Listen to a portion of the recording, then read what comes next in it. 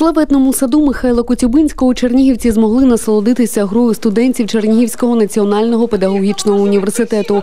До 153-ї річниці з дня народження класика молодь традиційно ставить коротенькі вистави за його творами.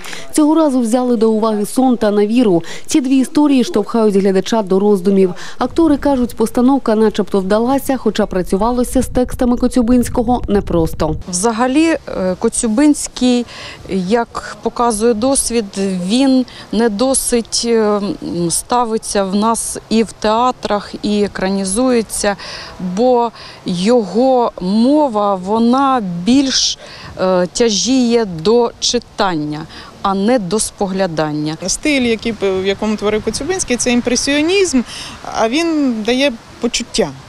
Переживання людини. Не стільки от зовнішня, знаєте, картинка, як зображується п'єса, вона повинна бути сцена, там сцена одна, сцена друга, в костюмах вийшли, стіл стоїть і так далі. А в Коцюбинському цього немає. Студенти спробували передати емоції твору на віру. В ньому розповідається про невінчену сімейну пару. Спочатку були почуття, допоки не з'явилась розлучниця. Геть з моєї хати!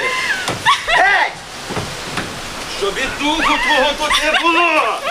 Грати складно, тому що е, взагалі оповідання саме е, по собі дуже складне і для розуміння, і для сприймання, і для душі. Воно е, важке. Кожна дівчина та чоловік, е, хто читав, е, можуть простежити певну свою долю. Якраз після цього уривку має залишитись певна гіркота і певні питання. Ну, взагалі, як і після будь-якого хорошого мистецтва, воно не, не відповідає на питання, а ставить їх.